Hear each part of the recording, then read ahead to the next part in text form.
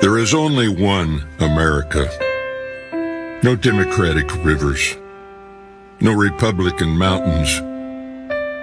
Just this great land. And all that's possible on it.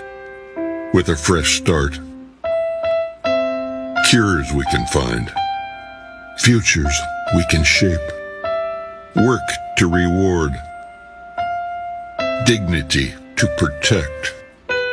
There is so much we can do if we choose to take on problems and not each other, and choose a president who brings out our best. Joe Biden doesn't need everyone in this country to always agree.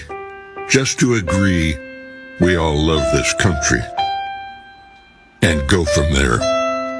I'm Joe Biden, and I approve this message.